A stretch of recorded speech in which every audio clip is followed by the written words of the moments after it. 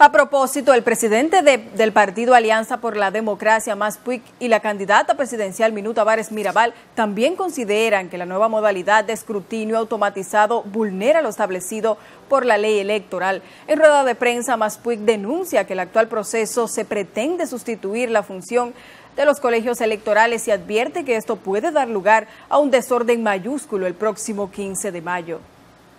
Estamos en presencia de situaciones que, como digo, deberemos analizar en todas sus consecuencias políticas y jurídicas y tomaremos todas las medidas que sea del lugar, porque lo que está en juego con todas estas medidas es el tema de la transparencia y por consiguiente de la legitimidad de las elecciones. Y si se pone en juego la legitimidad de las elecciones, se pone en juego la gobernabilidad en la República Dominicana para los próximos años. Puig además considera preocupante que a solo días para las elecciones los equipos de escrutinio no han sido debidamente presentados ni auditados. Agregó que apenas este martes la Junta le notificó vía una carta la resolución de conteo automatizado con un día como plazo para emitir sus puntos de vista.